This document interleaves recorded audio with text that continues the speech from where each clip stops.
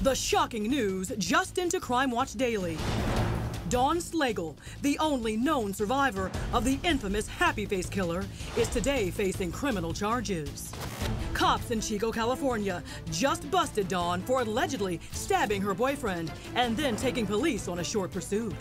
The boyfriend, Drew Euler, reportedly telling cops Daun stabbed him in the ribs. He was released from the hospital. The wound is not said to be life threatening. Melissa, when you first heard about what happened recently with Daun, what'd you think?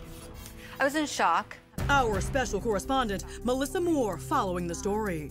Her father is the happy face killer, Keith Hunter Jesperson, and Daun is the one who got away. Did she tell you anything about Drew? Did she give you any insight as to what their relationship was like? Their relationship was unique. It was more of a friendship, and it seemed that it was close to the end. I think maybe she snapped. Uh, Post traumatic stress had a big part of this. I blame my father. Uh, he perpetrated this a long time ago. Melissa recently took our cameras on a heart wrenching journey to track down Daun. I still, even after all these years, can't wrap my head around the fact that my dad was a provider and protector and yet a predator to some other people. Melissa finally coming face to face It's good to see you. with Daun. How did you come to meet my dad? Um, I was actually sitting in a parking lot in Mount Shasta. I'd had a, um, a fight with my husband. So um, it was about 10 at night, and I decided to take the baby down to the only well lit place I knew was the shopping center.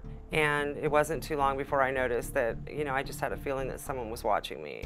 The man Melissa called Daddy was on the hunt. And then he just decided to walk up to me, which I was hoping he wouldn't do. But, um, you know, he started talking to me. So then what happens next? So he uh, he took me for a drive, just you know, outside of town area. Um, there was a little turnabout place, and um, I was just going to run out and go to the bathroom. As soon as I came back into the car, he disappears and goes out into the woods.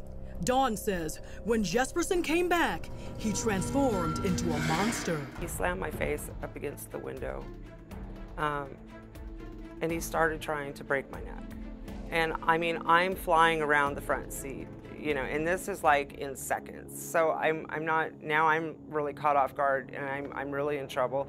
The baby falls off of my lap onto the floorboard. Then Daun's four and a half month old baby rolled under the brake pedal, and Jesperson tried to crush his skull. My dad's stomping on your son? Yeah.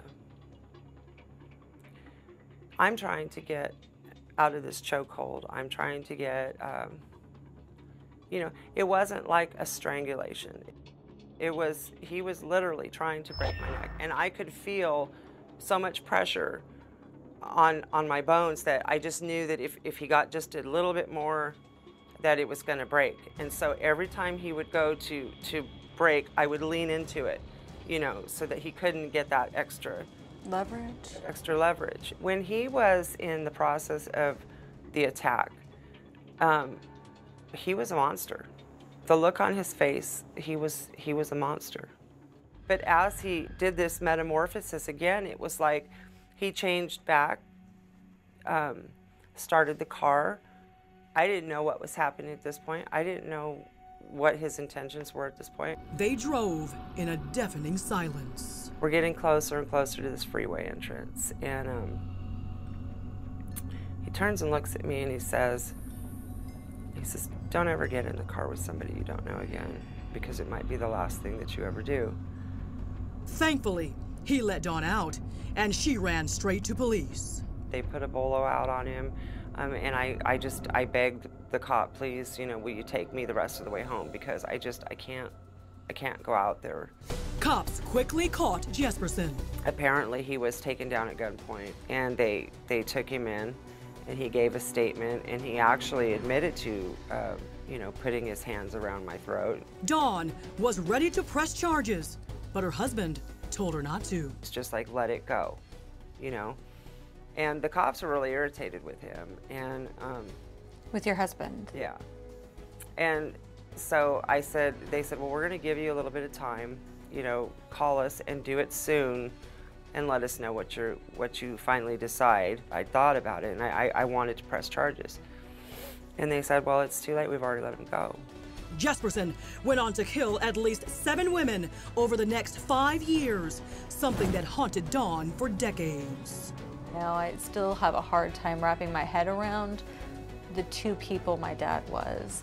You said you met a monster in the making, and I didn't see, I didn't see that as a young girl. You know, I But didn't see that. I'm see glad that. you didn't see that. He's a monster, not your family, not not your name, not your children. I don't blame you for any of it. I don't blame me anymore for his actions. I'm just glad that you survived and that you're able to tell your story and that you're willing to meet with me too. So thank you. Daun was booked on assault with a deadly weapon, domestic battery, evading an officer, and violating a restraining order.